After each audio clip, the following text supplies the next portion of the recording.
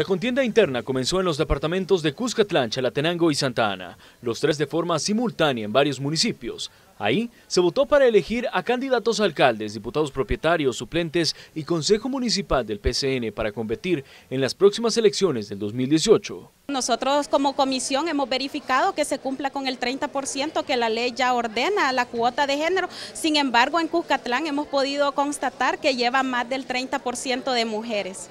Aida Castañeda, secretaria de la Comisión Electoral Nacional, explica que en el caso de los candidatos a la Asamblea Legislativa, el partido se apegó a la resolución de la Sala del Constitucional, es decir, el primer candidato a diputado propietario será emparejado con el primer candidato suplente seleccionado. Eso los electores tendrán papeletas separadas para que el elector sea el que decida quién es su diputado propietario y su diputado suplente. Uno de los rostros más conocidos en el partido y que compite internamente para una diputación es Mario Ponce, quien llegó a Cuscatlán en busca de apoyo para su séptimo periodo en la Asamblea. ¿Se siente usted satisfecho con su trabajo?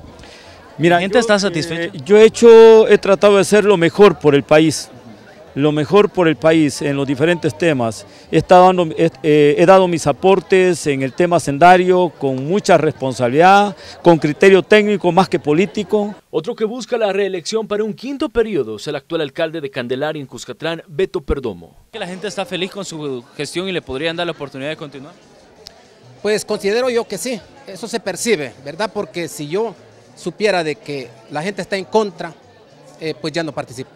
Se espera que en los próximos días se realicen más elecciones internas para finalizar en San Salvador y Chalatenango, lugares donde figuras como Cristina López y Reinaldo Cardosa han expresado que buscarán la reelección.